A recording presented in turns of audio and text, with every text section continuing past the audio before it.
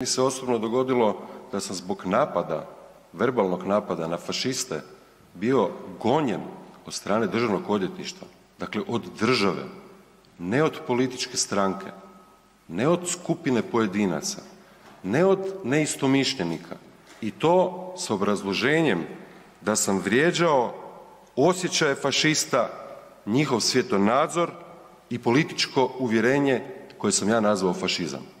Dakle, to radi hrvatska država preko državnog odvjetništva i to je nešto što je zabrinjavajuće, to je nešto protiv čega se mora boriti HS kao zakonodavac.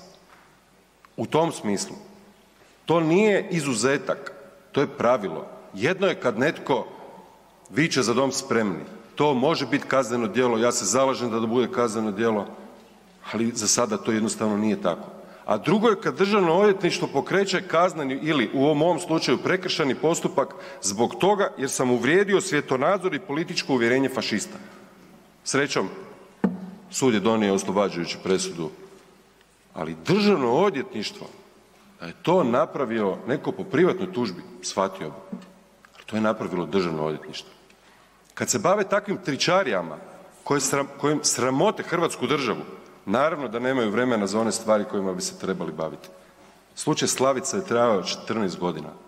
Što je hrvatska država i hrvatsko pravosuđe napravilo tom čovjeku i njegovoj obitelji? 14 godina. Tušek, Sabo, poveznice, o tome je već bilo govoreno, pisano. Očekujem u najmanju ruku da se postupa jednako kao što se postupalo u slučaju Sabe jer su to identični slučajevi. Ali gotovo isti slučaj sam ja Državnom odvjetništvu osobno prijavio prije više od dvije godine, a vezano je bilo uz kupovinu odnosno uz ovo što se dakle meće na teret saborskih zastupnika, članova Skupštine Zagrebačkog, grada, grada Zagreba prije više od dvije godine. Nikakav odgovor do dan danas nisam dobio. Naravno, kad se bave ovakvim stvarima kojima, koje ne samo da su sitnice, da su gluposti, nego i teško i duboko kompromitiraju i sramote RH koju bi trebali zastupati. Hvala lijepo.